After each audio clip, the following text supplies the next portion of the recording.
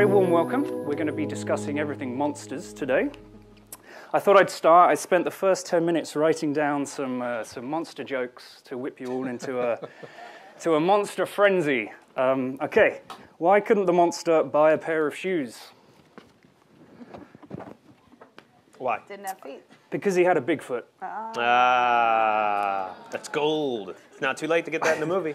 It, it's, it does get worse. Okay. Why did the monster transfer jobs so easily? Um, I don't know. Because of the clause in his contract. Ah, it's terrible, isn't it? Much worse. Nice. Um, last one, I promise. Why, uh, why couldn't the monster get into his apartment? This one needs a bit of work. still, Okay. The others didn't. yeah, yeah. No, the others are great. Why couldn't the monster? no, I haven't. there's- There is a punchline. Okay. He couldn't get into his apartment because of the Loch Ness monster. Oh, Yeah. got it. Except that. Okay, we'll work on that. Well, uh, I wrote down applause and I got a little. Oh, little. look at that. You wrote down applause. yeah, I wrote actual appla- I pause wrote for applause. applause for those jokes. It's very professional. Okay, so uh, so thankfully you're not here to listen to these jokes. Uh, we're actually here to meet the creators of this, which will either be awkward silence or trailer.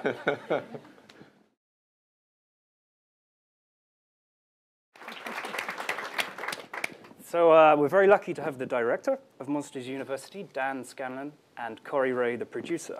Hello. Um, maybe ask you to introduce a bit more about yourselves in a minute, but the first question is, how does it feel seeing that? Oh, uh, it's great. It's it's fun to watch the trailer with an audience. I don't think we've ever done that. I know. Um, yeah, we're just so we're so excited that the movie's done. We spend um, so much time working on it. We spend Right. uh, almost five years working on each individual film at, at Pixar. Right. And uh, so to finally have the movie coming out uh, in you know, two days Yeah. uh, and to be able to share it with the world is very exciting. Wow. And from a production point of view, the, the amount of work that, that goes into that, is that a relief to see how amazing it is? It is. It's uh, and it's it's uh, been interesting the last few weeks. It's it's almost bittersweet when it's over because you do spend so much time with with uh, the crew and and so much time on the production, and it's a little bit of uh, an odd departure when it's over. So uh, we're still experiencing experiencing a little bit of that, but um, but super excited to get it out to the world. Can't can't wait. Great. So we may open up some questions with maybe 20 minutes left. So I was hopefully going to go through some, some uh, topics. Um, I was kind of interested in how you arrived at Pixar and your journey and a little bit about your education and inspirations. Yeah, uh, in my case, I you know always loved to draw. Got really into film and animation when I was young. Uh, I, I went to college in Ohio studying, actually studying illustration, and um, kind of fell off film for a while. And uh, but then I got a job at uh, this company in Ohio called Character Builders that did a lot of direct-to-video Disney sequels, The Little Mermaid 2 and 101 Dalmatians 2 and all those. and, um, but it was great. It was a great uh, experience because we had to make the movies for half the budget and half the time. And, and um, you know, frankly, even knowing that you were making a movie that people didn't want to exist, you know, that, that people didn't want those movies. And, and, but I liked that. I liked kind of the underdog nature of, all right, we're going to try to make these as good as we can. Um, and then I left uh, there and I applied to uh, as many places as I could because I just wanted to try uh, to move to California to, to, to try to really go for it. And I applied at all these different places. And I applied at Pixar as sort of the joke one, like, well, I guess it wouldn't hurt to get my name on a form somewhere. And uh, no one replied to me except for Pixar. And it was such a great example of just go for whatever, go, go for everything you want, because you never know. And luckily, they, they brought me in to work on uh, Cars, the first Cars. And uh, in, in my interview with Joe Ranft, who was a great story artist there, he, um, he said, Oh, you're from the Detroit area. I bet you're really good at drawing cars. I didn't know what the movie was going to be about yet. And I said, Oh, to be honest with you, I hate drawing cars. I don't know how to do it. That's why I'm leaving Detroit, and I couldn't draw a car to save my life. And then he said, The, the movie is called Cars? I was like, Oh, oh. Um, but uh, and so yeah, Monsters Inc. The first one actually came out the first month that I worked at Pixar, and I got to go to the wrap party, and it was just such a, a dream to to be there. and then worked on Toy Story and, and made my own live action film feature called Tracy on the weekends with other people from Pixar, um, just as practice writing and directing a feature on my own. And I think that that helped me get this job. So the inspiration was Disney when you were a child, uh, sort of growing up with the old classic, obviously Uh, films. it- a lot of it was more Warner Brothers, Chuck Jones, Tex Avery, that kind of stuff. But I was a fan of the shorts Pixar was doing, and I was a fan of uh, Aardman, the shorts that Aardman was doing at the time. That's great. Uh, and, and Kori, in terms of producing, did you start small and then work into big scale? Yeah, I films? s- you know started at the at the very bottom. I got in uh, at, on the ground floor about 20 years ago when uh, we used to produce commercials. And um, I applied for an assistant to the executive producer of the commercials group, and uh, and went up against a couple of internal people. And I had a little bit of a writing background and, and project management background, so somehow uh, they hired me. And uh, and then I kind of quickly worked my way up in the commercial group and started producing commercials um, until Toy Story came out. And um, they took all of our people that were in the commercials group, all 12 or 13, just to finish Toy Story. And then uh, once it was released, and uh, Disney said, well, maybe we might help, you know, if you want to make another movie, maybe. Um, so that's when we kind of closed up shop in the commercial group, and I moved over and started working on A Bug's Life as the animation manager. Okay. So that was my first feature film, and then uh, worked on a bunch since then. And this is my first full producing gig. I was the development producer on Up, but uh, just for the first year. And uh, so yeah. Well, what's really astounding, I think, uh, watching Pixar movies is the, the, crowd, the incredible amount of detail and love and passion that goes into those films, and also how complex it must be from the beginning of a storyboard through to the finished piece. But uh, just on a little bit on that process, do you still traditionally begin with the drawings and the gag drawings, the way that the old Disney films were made and the old Warner Brothers films? Yeah, Yeah. absolutely. Absolutely, yeah. We did uh, over 200,000 storyboards for this film. So, for better or worse, couldn't make up my mind. Um, yeah, well, we still do a ton of hand-drawn stuff, Yeah. and even our storyboards. I mean, when I started on Cars, our storyboards were completely hand-drawn on paper and Right. pasted to the wall, and we pointed at them with an old stick, and you know, it feels like a, a incredibly outdated thing now. But Yeah. the world changed fast, and now we're uh, drawing on Cintiqs and. right. Um, but but you know, in the art department, people still Yeah. draw on paper every now and then, and Yeah. yeah. And I guess because uh, because the actual sort of process of these animation and rendering is, is very sort of expensive, and you, you really try and get the lockdown on these uh, finished animatics to begin with. So you pretty much got the whole story working before you move forward. At, at least segments of it. You know what I mean? We, we, we certainly put the story reels up over and over again. Um, a lot the first two years at, at least, like every three months. We put them up, we show them to the internal kind of brain trust, um, all the directors at Pixar. Then we, they give a bunch of notes, we tear them down, and we start all over. And we do that uh, every three, three months or so. And, um, and then, you know, slowly we and, and along with that we do design we start design uh, pretty early on as well production design and then it kind of gets into production from there So you're kind of building everything up bit by bit, but occasionally yeah. going back in. yeah for sure So, um, so I guess you took this template, but then you also thought we want this idea for a sequel, but we don't want a sequel, we want a prequel. How did that come about? Uh, about five years ago, we started thinking about it for the first time. Just, just the idea that we loved these characters and, and wanted to see if there was even an idea there worth doing. Um, so uh, a bunch of us got together, including uh, John Lasseter and Pete Docter, who wrote the original, or I mean, uh, directed the original film. Uh, the original writers were there, um, and we we thought if we were going to do a story with these characters, we wanted to do something that explored their relationship more. And that was really the, uh, where we got the idea of, well, we should go back in time and actually see how the relationship uh, developed. And um, obviously, from that idea, we loved the, the entertainment possibility of college, Monster College. But the real heart of it for us was when we realized we could tell this story about Mike. And um, the, mo- the movie is, is very much Mike's story. It's, it's a movie about these guys coming together, but our main character this time is Mike. And, and um, we found that prequels are tough because you more or less know how the movie's going to end and that everyone's going to survive. Um, And, uh, and so we wanted to tell a story where knowing the ending at the beginning of the movie was a good thing. We wanted to tell a story about a character who uh, doesn't get everything he wants in the end. There are so many movies that say if you work hard and never give up, everything will always turn out great. And, uh, and even though that's a great message, it's just sadly it's not always true. And so many of us had experienced that in our weird paths to, to, to our careers, uh, that we had had these big dreams that were kind of dashed. And at the time, it seemed devastating, but we look back on it now and, and realize, well, it actually led to something better. And we wanted to tell that story. So it's, it's really the story of Mike um, desperately wanting to be a scare more than anything in, in his life, and then the audience knowing he's headed for kind of a disaster. Uh, that seems so interesting to us to tell a story that was a little controversial and we hadn't quite seen before. And that's where the, the gist of the idea came from. But it was sort of a wonderful surprise watching the film, thinking uh, that we do know kind of in a way what happens, but actually it's just this great snapshot of life on an American in an American university. Um, was there ever a, a, slight worry that you were thinking, would this translate globally? This idea of universities. Not for me. I remember growing up in the UK with programs like the Wonder Years, and I had this idea of what American college was like. Was like. That's what was funny as we started to talk to people. Well, number one, we yeah. thought you really just need to know.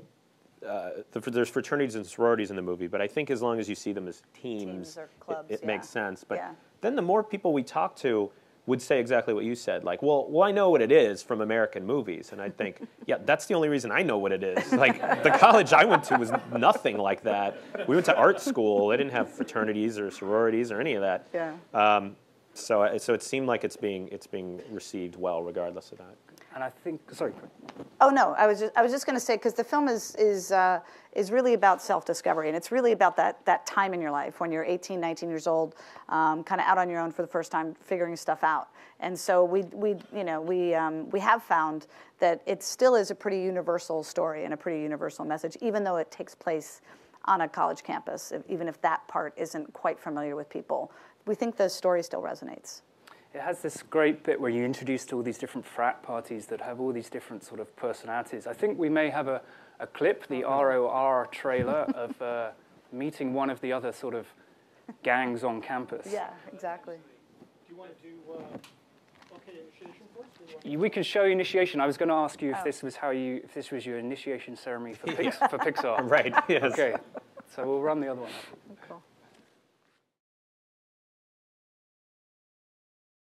Just on the characters, it looks like you had a, an absolute blast creating and designing these because it's a world where anything yeah. can happen, right? Yeah. yeah. Totally. Oh, for sure. We had a we have a great uh, art department, yeah. and um, and you know the first thing we really do is think about the characters themselves, what they need to be in order to tell the story, right. and um, and then we start designing them. And, and, it is tough. In the case of monsters, it's, it's fun because it's, it can be anything, and it's hard because it can be anything. you know, it's hard to figure out what, what to hold your, you know, what to hold on to. Um, but, uh, but yeah, we had a great time with this, this team. We have a, a new character, um, uh, the Dean in the movie, Dean Hardscrabble, who had to be one of the most uh, terrifying um, scares of all time. And so we really wanted to design something that was really freaky looking and um, we got on the topic of sort of bugs. Bugs are creepy, and we, we found this thing. It's a giant centipede. It's a real thing that exists in the world, and we, we rented one, and uh, and uh, they they brought we it. Buy one. Yeah, we weren't going to keep it. No. yeah, and uh, they they brought it into meetings in what looked like a plastic jar that had had potato salad in it. Like it was so not official with a little bit of tape on it. I thought this doesn't seem right that we're one of the interns is taking care of this thing. And, and, um, and he, they said, the guy that brought it said, if it, if it bites you, you won't die, but you'll wish you were dead. So we would have this thing around all the time. But it was really great uh, to research, to have, have it there. Yeah. yeah. yeah. wow. Um, and it's also interesting because uh, the other world, the animation world, gives you uh, sort of the opportunity to make things move in completely different ways. And that's what I also loved about this film. It's, uh, you had the opportunity to play with short legs, long legs, yeah. millipedes, a giant. Right. It's, uh, it's an opportunity for the animators to really sort of get their teeth into it. Yeah. Yeah. Oh yeah, I mean, animation-wise, it, it was you know each one of these things. Once you develop a new-looking character, now you have to figure out how it moves, and it's and again, they're all things that we've we've never really seen before necessarily. Tentacles are very hard, uh, Yep. Apparently. For sure.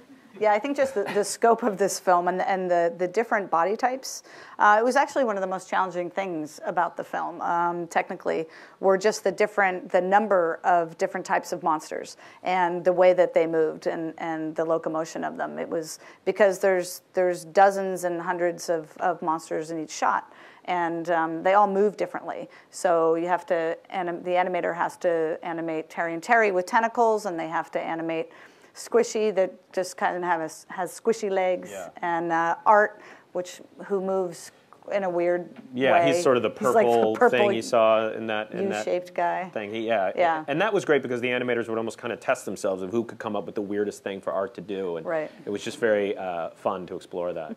It's uh, yeah, it's beautiful to watch. And I also think the other thing that stood out was the attention to, to detail, which is always there in these Pixar films. But I'd never seen anything like uh, there, there was almost dust particles. I noticed uh, there's a part where Mike writes in his calendar, and it, that the pen absorbs into the calendar. It's Right. almost like it's uh, that's incredible. I mean, how far can that technology go? I, I don't know. I mean, no, it's amazing. I, I think you know, it's uh, the the artists are really pushing themselves all the time. This isn't like Dan. I don't think Dan was in the review going, "Okay, now make sure that that marker really seeps in there." And it's it's it's everybody challenging themselves, and that's you know, like like this environment. It's just, it's similar um, at Pixar. We, we're just always trying to to push individually. All the artists are pushing themselves to do something cooler than last time, or, or add that little touch at the very end of the shot. Um, and it's remarkable. I mean, it, it, and that is what all adds up to that that incredible level of detail. Again, most of it isn't planned. Some of it is, um, and a lot of it just happens because the artists are who they are. So it's cool. So with way. Nemo, it was sort of water, and this, this particular problem may have been sort of tentacles and the amount of, of monsters on yeah, the it's shot. kind of the amount of characters um, was the big challenge. Yeah. That and apparently backpacks. At some point, backpacks are really hard to Simulated simulate and yeah. put a backpack on a hairy creature. And I felt bad because it's well, it's college. They that- they don't wear clothes, so what else is going to show you that they're college students? Um, so it's not as sexy and exciting as a giant ocean of water and flames, but backpacks were tough. So if you see a backpack, applaud. And also, I think that the, the world of the university, uh, I was kind of intrigued as to does it completely exist somewhere in a CG? How, how, what's the level that you went to to sort of uh, plan out this giant campus? Yes, a lot. Right.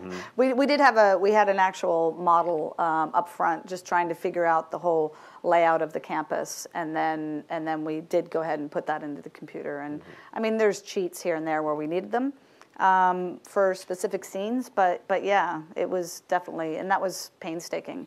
Um, because the story has to drive that, and, and the story has to be to a certain point where you can say, "Great, this building is here, and this one's here," and then we'd say, "Hey Dan, what what what's going to happen in this building?" And he'd say, "I don't know. Yeah. I don't know yet. We haven't Sounds figured like it out."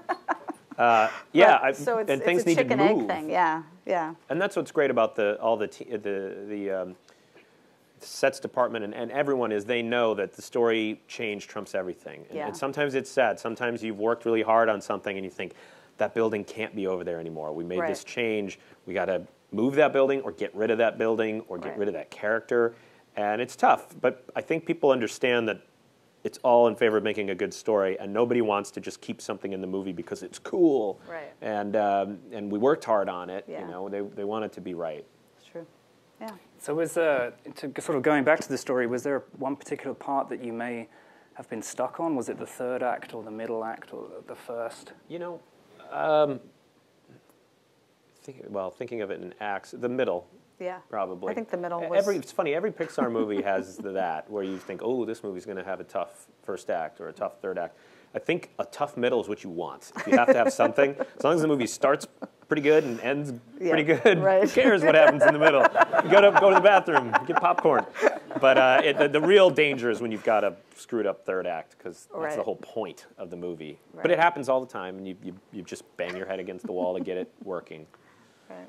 It's, uh, it seems like it's such a process of getting the script writers, and then also there's this, uh, I guess there's this reality of when you get the, the guys in to do the voiceovers, there may be a chemistry or something that emerges from there which can springboard to, a, to another idea. So it's sort of organic in a way, but it also has so much riding on it, I guess. I mean, this, I uh, have a, a question on pressure, which I underlined three times, the word pressure, just to sort of heighten Wrote up. it in the form of a joke. In the joke. No, no, no, it's not a joke. No more jokes. But um, I mean, you, you, you, you're a director of the, the most successful film company in, in history.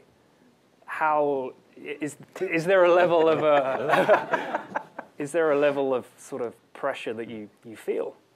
Uh, you know, I think that we we're pretty supported at Pixar. It's a very Yeah. supportive place, and I I always feel like we're kind of all in it together. Um, it's not competitive, you know. Uh, we we try not to look at our movies next to the other one and that Right. type of thing. You know, everyone is so excited about whatever individual movie is coming out that you I don't know. You, you really don't think about it as much, uh, and I and I think we're trying to make movies that that we like, you know, because at first our first audiences are ourselves. It's the company, and um, we're trying to make a movie that that, that we like, and we we honestly believe and hope that if we do that, hopefully we'll connect with people rather than trying to judge what you know the world wants right now. I think that's always kind of a dangerous road to go down. Um, uh, but uh, I, you know, I don't know. Everyone keeps asking me if I feel this pressure. I feel like I, I should probably feel it. I do now. I think, I think part of it is that there's pressure at the beginning, and because it's you know just getting the story off the ground in any way, shape, or form is the hardest part, and then there's no time. There's no time Yeah. to th- if you're really moving forward. There's no time to even think about the pressure. It's the it's so crazy, kind of how how jam packed Yeah. production schedule is. Even at, at four years, um, it's you. I don't know. It's it's almost Well, like you just put your head down and Yeah. ah. But luckily, we'll have plenty of time on Friday afternoon to refresh Rotten Tomatoes. And I'm not No, doing that. I, I mean, I definitely haven't seen a film where I've kind of like smiled all the way through it. It's just like a really enjoyable film once you're you're, you're into the world, and that's it. So uh, I don't envisage too many bad reviews, really. Did you want to run the clip of the uh, the ROR trailer? Because I think Mm. it's interesting to talk about the little different uh, frat gangs that Right. that, Cool. that appear.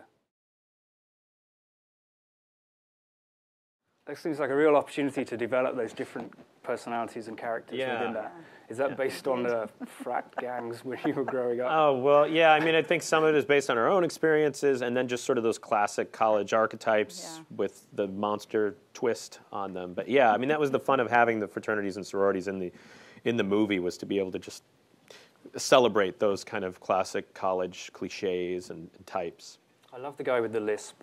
And uh, Yeah. it's, uh, I don't know, I did used to hear Pixar stories that occasionally some of the traits of animators or people that work there found their way into the characters. Right, No one yeah. at Pixar with a lisp. No, not not that I No, not but I- that I would say. No, but I, th- I think Bobby Moynihan, who voiced the character of Chet, uh, Yeah, kind of he adds a lot He to- adds a lot to that. He came up with that, I think. I mean, he directed it, but it Yeah. was kind of his thing. Yeah. He's so great. So now the, uh, the film is finished. Uh, you get this chance to maybe take a, a bit of a breather before you begin to sort of build up the energy to, to take on something else. Yeah, absolutely. Take some time off. exactly. Yeah. a little bit. Yeah. And then yeah, come back and, and then we'll go into development and uh, and see uh, if we can come up with another idea That's fantastic. another movie. Yeah. In terms of questions, we only have sort of 15, 20 minutes left. So if anyone would like to uh, queue up, that would be fantastic. Hey. Hey there. Um, I read that this is the first Pixar movie that makes full use of ray tracing. I'm wondering if you could discuss how that affected the creative process or the movie making. Yeah, I Yep. mean, yeah, global illumination, and, and that we kind of did a bunch of R and D at the beginning, and we did we used that for the first time on, on this film. Yeah, Um, and, and it's beautiful. I mean, we love the look of it. it. It works really well for this particular film. It allows us to, or allowed me to see uh, scenes lit kind of quicker and, and Yeah. more specifically, Right. uh, which allowed us to tell story with light in a, in a way that we, we really wanted to do. Right. Um, uh, which which uh, you know which is just makes everything easier. I I felt and Pete Docter was the um, uh, exec, executive producer on this film, and he was a big mentor for me the whole time. And he would come in and once a week and, and look at character designs and, and, and animation. And it's been 12 years since he did his film, and they did it on a Texas Instrument computer with, you know, like he would look at what I get to see, and he'd go, "You're so lucky. It's so easy." You know, when he would see character designs, they were sort of frozen in this weird shape and, and made out of simple things. And I'd see them; they'd be posed in a production pose with like a drop shadow on it. I'm like, sure, that looks good. so easy. Sorry, that. It's true. Yeah. Hi, thanks for, so much for coming. Um, so the past three out of four Pixar movies have been either sequels or prequels. Um, so my question is why, and what are the challenges of coming up with new stories when there's already existing material? yeah, I mean, I think you know we're uh, we're kind of lucky to be able to make more movies than we, we could years ago, and and we're able to go back into these worlds and tell new stories with existing ca- characters and, and worlds that, that we created a while ago. So um, we're actually excited to go back into a lot of these worlds, and we're also excited to tell original stories. We're just happy to be doing both. Um, but I think certainly sequels and prequels offer a, another challenge because it's um, you you know you have to kind of deal with predictability and and and everything that goes before um, and come up with with brand new ideas that will keep the audience interested so it's challenging but I, I think we're really glad that we're able to to do both Yeah. and move forward doing both we finally have that that luxury. But it, it- sequels can be tough. I mean, we've we've said it's like it's as if someone took the game chess and said, okay, you, you use all these pieces, but come up with a different game that's just as good as chess, but isn't chess. But you can't change the characters that much. It's it's this other challenge. Yeah Uh, This kind of goes back to that pressure question earlier. So it seems like the tradition at Pixar is to have co-directors of past feature films or short films step into the director's chair, such as Pete and Andrew. So how much did co-directing that short film for Cars help you step into the director's chair this time? And also, what does that say about Pixar to have that much trust and confidence in somebody with their immaculate track record? Yeah. Jesus. Pressure you guys are putting on. Um, I, uh, yeah, I, I co-directed Mater and the Ghostlight, which was a short on the DVD several years ago, but with John. So, I mean, you couldn't, couldn't really have a better teacher.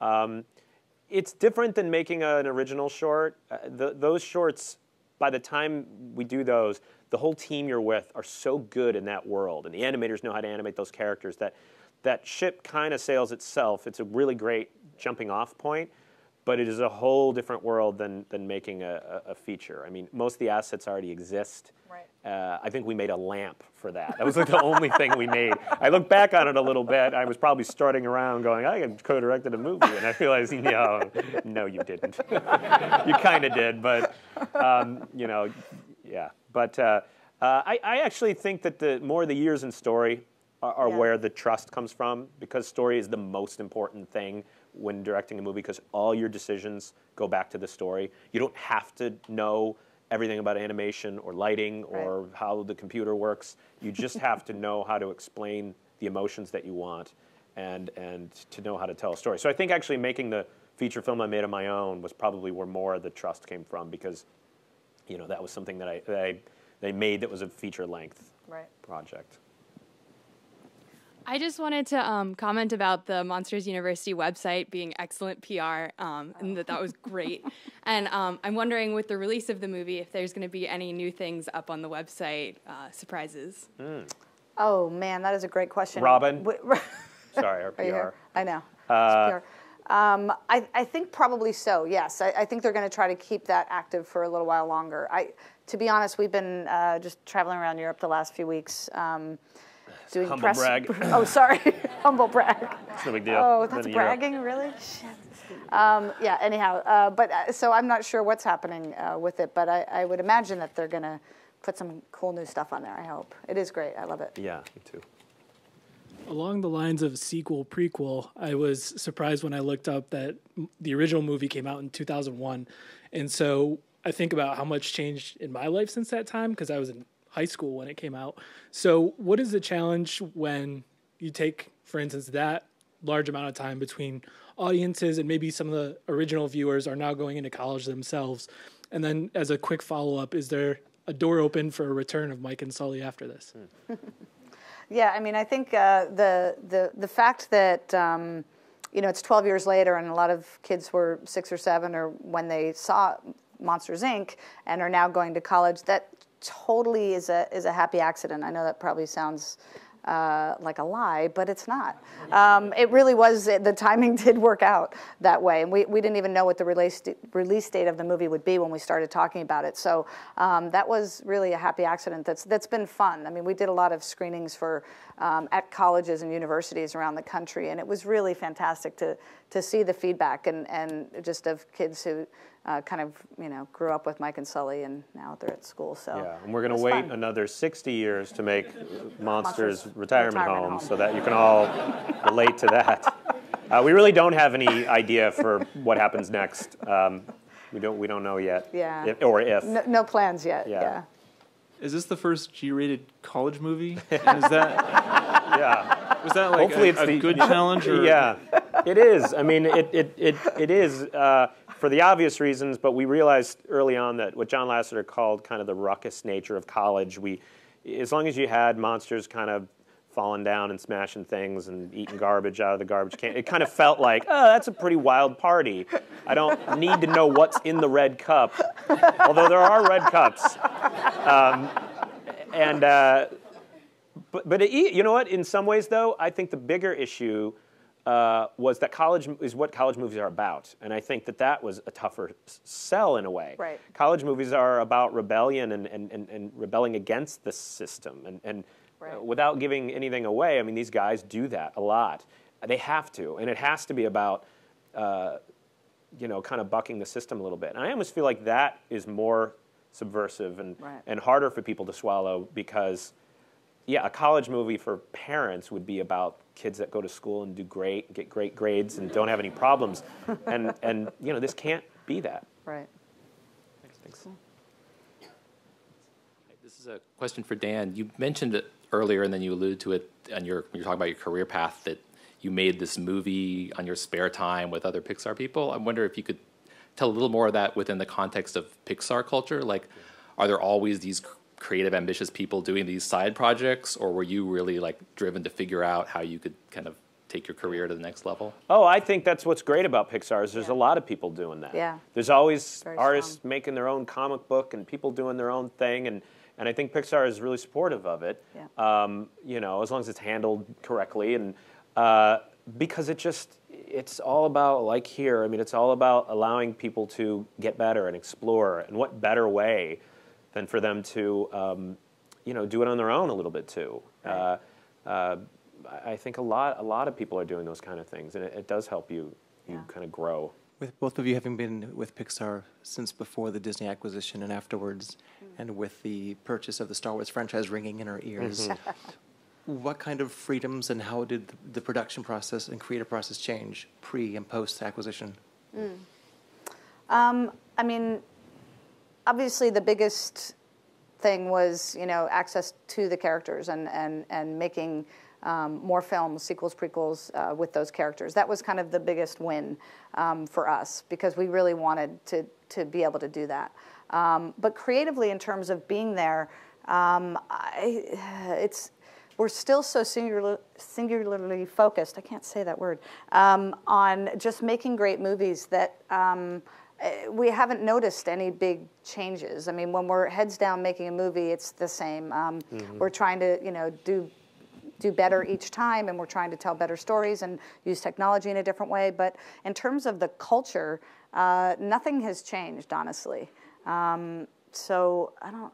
Yeah, yeah it's been bigger, good in that way. We're a bigger company, but we're pretty autonomous. You know. I mean, Pixar itself is an autonomous part of the Disney Corporation. So it and it does feel like that still. Pixar is known for having great technical prowess and then also artistic vision. So you have these two groups of people with, you know, just really incredible talent. How do they mash up against one another where you have people able to do something but necessarily not having the vision there, but you have or you have people having the vision but not necessarily the technical ability?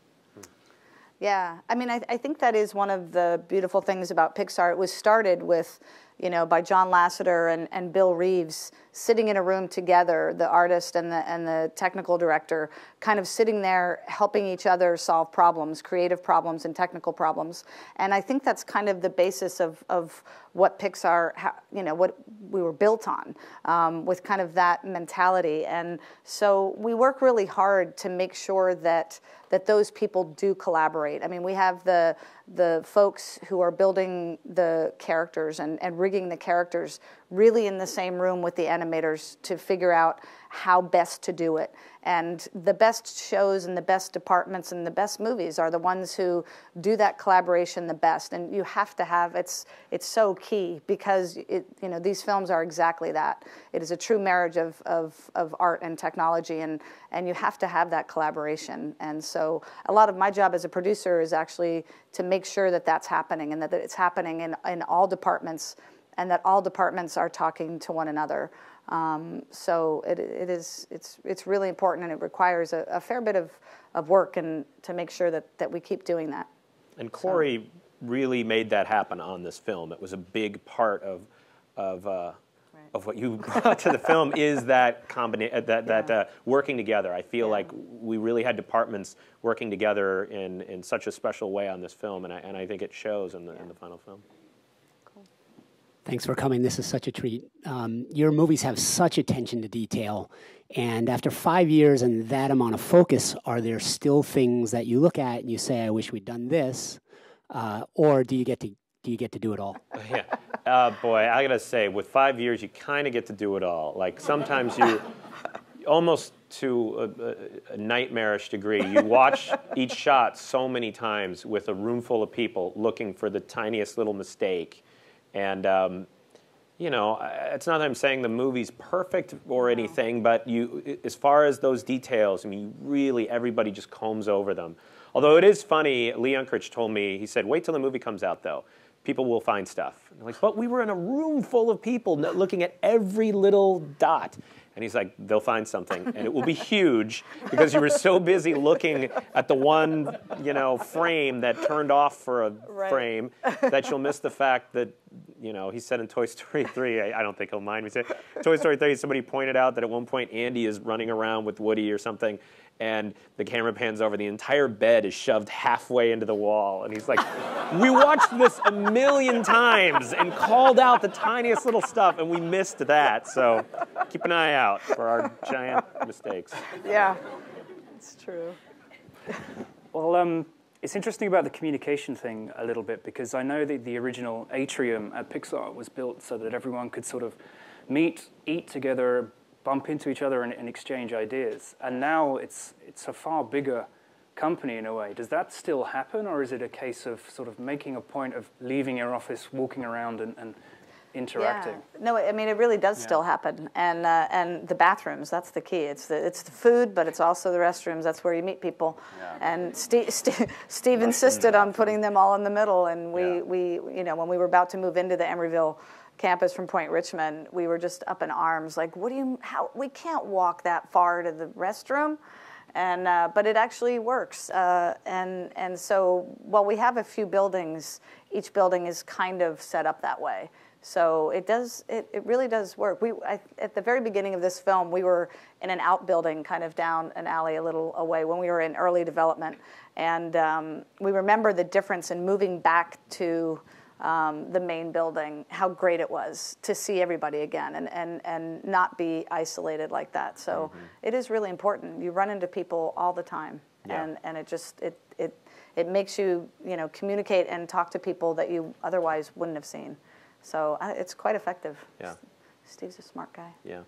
It's uh, I guess uh, we sort of talk a little bit about Steve, but uh, it's sort of yeah. like that things must have changed a little from that aspect as well. When uh, and also with John because now he's sort of overseeing feature mm-hmm. animation in uh, down in LA, and then he yeah. still manages to What's what's his working day like? It must be incredible. Yeah, it's crazy. He's Superman for yeah, sure. Uh, we none of us really quite know how he does it, but um, but he does, he and, does he, and he's it, and yeah. he's and he's hands on. It's not like he's just coming in and he's actively working on on all of the films and the shorts and everything at the studio every day.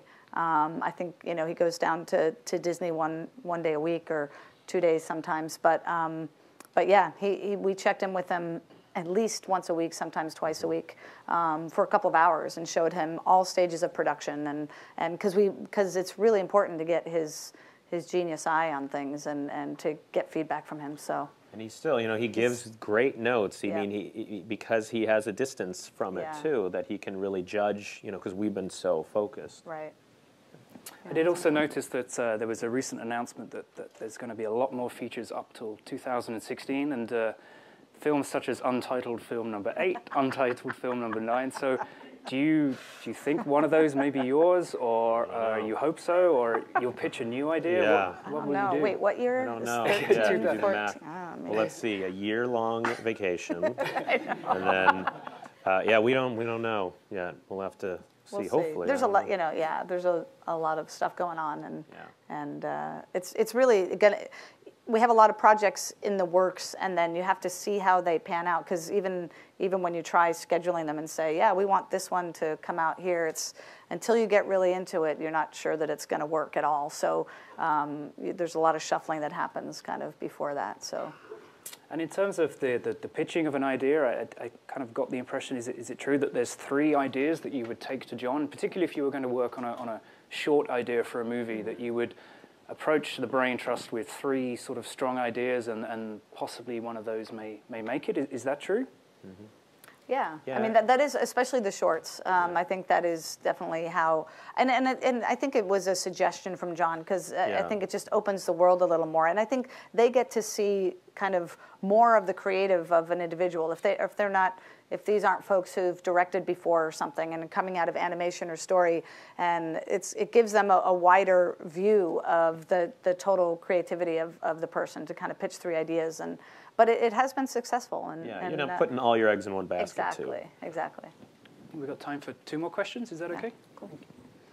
With uh, several films in production concurrently, how do they interact? Um, Yeah. how do they interact? I mean, mostly on the creative front and getting Yeah. getting feedback on the Yeah. creative front. It's nice because you can take a little break from your own movie and your own problems and go watch the rough reels of one of the movies that's coming out two years after you, Right. and and give notes and and and again share their problems for a moment. And selfishly, the thing that I like about it, and I think a lot of the directors do, is even as you are doing that, there's a small part of your brain going, does that make sense for my movie? Like when someone says, is your hero really being challenged to the utmost degree or uses some crazy story, you know, paradigm, you think, is my hero going through his worst possible journey? And it, it's just something to get you, kind of get your mind. Yeah, it shakes things up a lot. up. Yeah. So Uh, so, working at an animated film studio, what is it like watching an a- animated film by a different studio? What goes through your mind?